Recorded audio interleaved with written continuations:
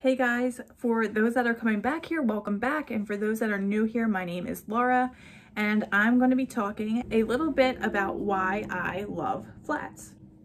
Um, some of you coming here may not know what a flat is and that is okay. It is literally just one piece of material in a square or rectangle depending on what type of flat you have. But let's get into why I love them. So the first reason I love flats is because they're so versatile as a diaper. What I mean by that is you can fold a flat around baby, which is what I love to do because they're super good at containing messy poops. Or you could pad fold, which is essentially just folding the flat into a rectangle and you can stuff it into a pocket diaper. You can fold it around baby like this in a cover. You can use this in so many different ways in a diapering system, in any kind of diapering system. It's really such a versatile diaper. And with folding flats around baby, I also love that there are so many different folds you can choose from. If you don't like one fold, there are tons of other folds out there that you can learn.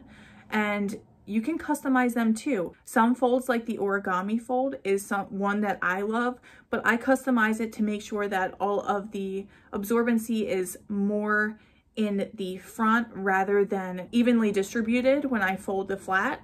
Um, so even the folds for flats are totally customizable and that is another thing that I love about them. Flats are also versatile after diapering. You can use these for cleaning around the house. So even after diapering, flats can come in handy.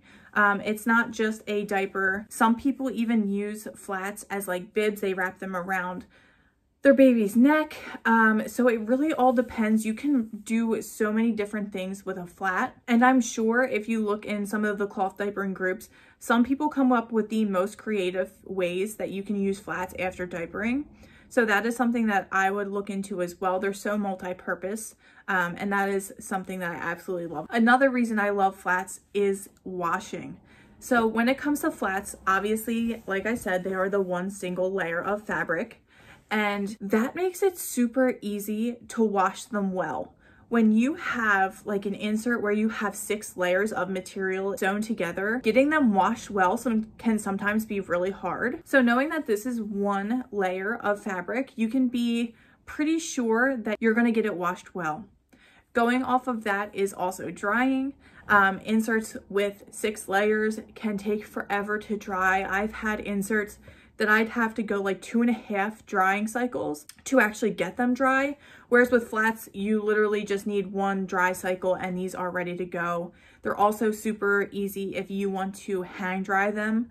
Obviously they dry a lot quicker than something with six layers when you hang dry them as well. So that is another pro to flats.